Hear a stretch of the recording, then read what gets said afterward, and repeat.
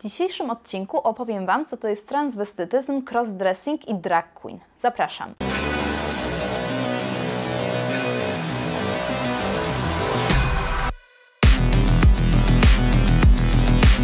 Transwestytyzm lub eonizm albo metatropizm, tak jak w przypadku transgenderyzmu i transseksualizmu, jest zaburzeniem identyfikacji płciowej. Polega na tym, że mężczyzna poprzez ubiór, makijaż lub zachowanie stara się upodobnić do kobiety w celu osiągnięcia satysfakcji seksualnej lub emocjonalnej. Nie czuje się natomiast kobietą uwięzioną w ciele mężczyzny, tak jak w przypadku transseksualistów. E, to zjawisko dotyczy głównie mężczyzn. Są dwie teorie na ten temat. Pierwsza mówi, że w ogóle nie występuje to wśród kobiet, ponieważ nie ma danych na ten temat. Druga, że kobiet transwestytów jest tyle samo co mężczyzn, ale łatwiej jest im się ukryć i spełniać w roli męskiej. Zapewne bardziej zwrócilibyśmy uwagę na pomalowanego mężczyznę w sukience niż na kobietę bez makijażu we flanelowej koszuli i jeansach. Transwestytyzm w zależności od źródła dotyka od 1 do 4% populacji i ma on też swoje odmiany. Pierwszy rodzaj to transwestytyzm transseksualny, czyli o podwójnej roli. Ten rodzaj według seksuologów nie jest dewiacją seksualną. Taki mężczyzna, przebierając się za kobietę, czuje spełnienie emocjonalne i wewnętrzny spokój. Robi to, aby doświadczyć uczucia bycia kobietą. E, nie chce zmieniać płci oraz nie czuje podniecenia wcielając się w odmienną płeć. Nie stosuje także terapii hormonalnej. Drugi transwestytyzm to transwestytyzm fetyszystyczny, to znaczy taki, w którym mężczyzna uzyskuje pełną satysfakcję seksualną tylko i wyłącznie wtedy, kiedy jest przebrany za kobietę. To znaczy, że jeśli ma partnerkę i współżyje z nią bez przebierania się, pełne spełnienie seksualne nie występuje. E, najlepszym rozwiązaniem w takiej sytuacji jest znalezienie osoby, dla której ta odmienność nie jest problemem. Transwestyta nie chce zmieniać płci, wstąpienie w rolę kobiety jest tylko narzędziem do osiągnięcia orgazmu. Po wszystkim ściąga ciuszki i wraca do swojej roli męskiej.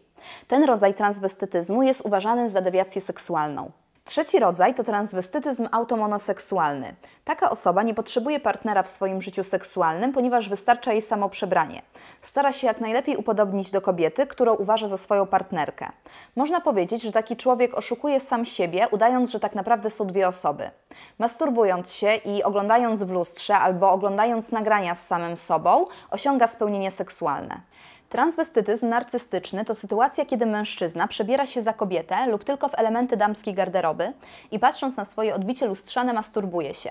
Różnica pomiędzy transwestytyzmem narcystycznym a automonoseksualnym jest taka, że w narcystycznym głównym elementem podniecenia jest własne ciało w damskich ciuchach, a nie ta druga osoba. Kolejny rodzaj to transwestytyzm masochistyczny, czyli taki, w którym osoba przebrana z premedytacją pokazuje się publicznie, aby odczuć poniżanie i wyśmianie. W momencie wyzwisk y, i wysłuchiwania obelg na swój temat podniecenie wzrasta i jest później rozładowywane poprzez masturbację. Występuje też transwestytyzm infantoseksualny. Moim zdaniem najbardziej szokująca odmiana transwestytyzmu, bowiem zdaniem wielu ludzi ociera się o pedofilię. Taka osoba ubiera ciuchy dziecięce, często zachowuje się jak dziecko i w ten sposób też chce być odbierana. Pragnie, aby karmić ją z butelki, zmieniać jej pieluchy i przebierać.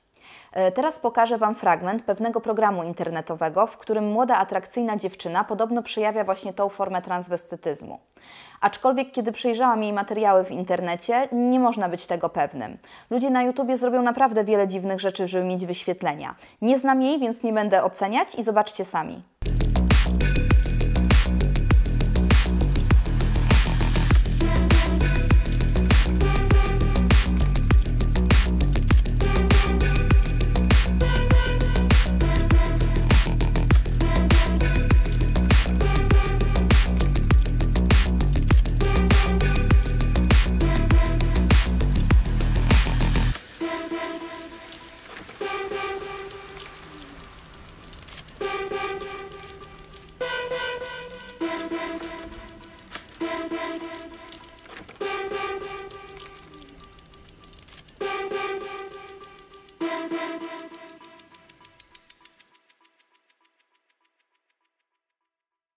Przedostatni rodzaj to ciswestyzm. Tacy ludzie ubierają ciuchy tej samej płci, ale w innym wieku lub z innej warstwy społecznej. Na przykład osoba 20-letnia przebiera się za 60-latka i w tym momencie odczuwa podniecenie seksualne. Lub na odwrót, czyli transwestytyzm infantoseksualny, który zaliczamy do ciswestyzmu. Ostatni rodzaj, który możemy zaliczyć do transwestyt transwestytyzmu, to homeowestyzm, czyli ubieranie bielizny lub garderoby innej obcej nam osoby tej samej płci w celu osiągnięcia satysfakcji seksualnej.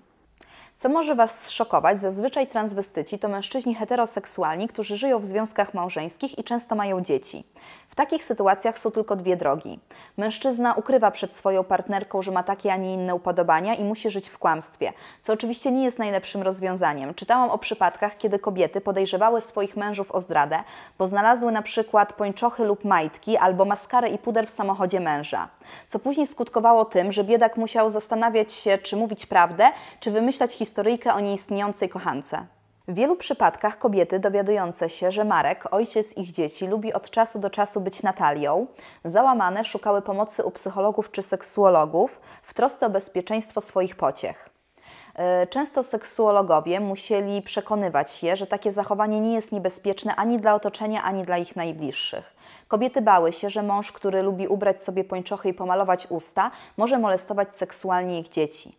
A nawet o to, że ta choroba jest dziedziczna i przejdzie na ich potomstwo. Z reguły boimy się tego, co jest nam obce i czego nie rozumiemy. Lęk wynika z braku wiedzy. Transwestytyzm nie jest genetyczny, zaraźliwy ani niebezpieczny.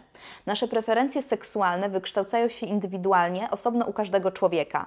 Można być transwestytą i żyć sobie normalnie spokojnym życiem i być szczęśliwym człowiekiem, ale jak zawsze trzeba znaleźć odpowiedniego partnera.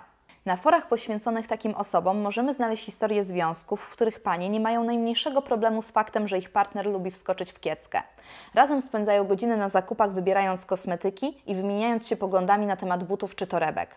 Najważniejsze jest to, aby się dobrze dopasować. Jeżeli nie robimy krzywdy drugiemu człowiekowi, to co komu do tego, co robimy w sypialni? Dobrze, skoro już mamy to za sobą, to czym w takim razie jest crossdressing i drag queens? Określenie crossdressing jest ostatnio coraz częściej używane jako zamiennik słowa trans transwestyta, ponieważ nie budzi tylu negatywnych skojarzeń.